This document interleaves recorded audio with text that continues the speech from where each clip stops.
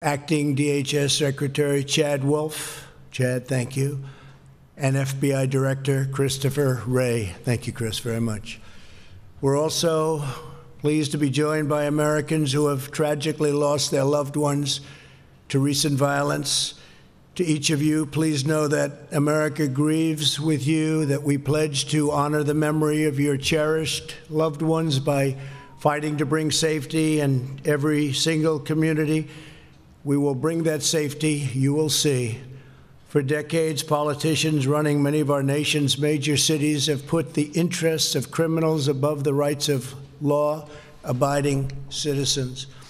These same politicians have now embraced the far left movement to break up our police departments, causing violent crime in their cities to spiral, and I mean spiral seriously out of control. In New York City, over 300 people were shot in the last month alone, a 277 at least percent increase over the same period of a year ago. Murders this year have spiked 27% in Philadelphia, and 94% in Minneapolis, compared to the same period in 2019.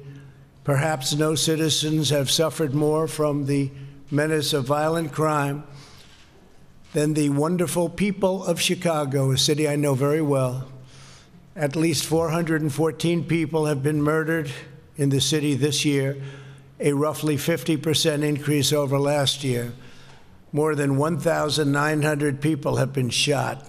These are numbers that aren't even to be believed. Yesterday alone, 23 people were shot in Chicago, including at least 15 who were shot in a merciless onslaught of gunfire outside of a funeral home. 63 people were shot in the city this past weekend, and at least 12 people were killed. Over the 4th of July weekend, nearly 80 people were shot and 17 were killed. Over Father's Day weekend, 104 people were shot and 15 were killed, including five young children. And the last weekend in May saw the city's deadliest day on record 18 murders in 24 hours. Behind each of these horrifying statistics is a victim, a family, a loved one, and a life of cruelly shattered. And it's just so sad to see and so sad to look and so sad to see how these lives have been just torn apart. An African American father of three was killed while walking into a store to pay his cell phone bill. A 13 year old girl was killed when a stray bullet came through the window of her home and hit her in the neck in the presence of her family. On Independence Day, 14 year old Vernado Jones Jr. was playing basketball with friends in a Chicago park when he was senselessly killed in a massacre that left eight people dead or wounded. Vernado's mother, Cheryl, is here with us today. And Cheryl, please know that all Americans mourn by your side. We will carry your son's memory. He will not be forgotten. Cheryl?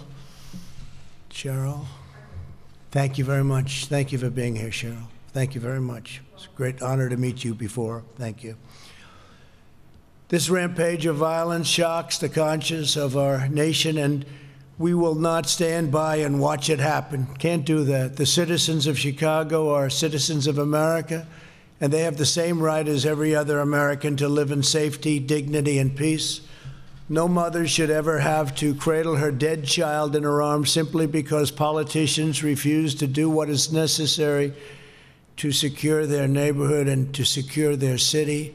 Every American, no matter their income, their race, or their zip code, should be able to walk their city streets free from violence and free from fear.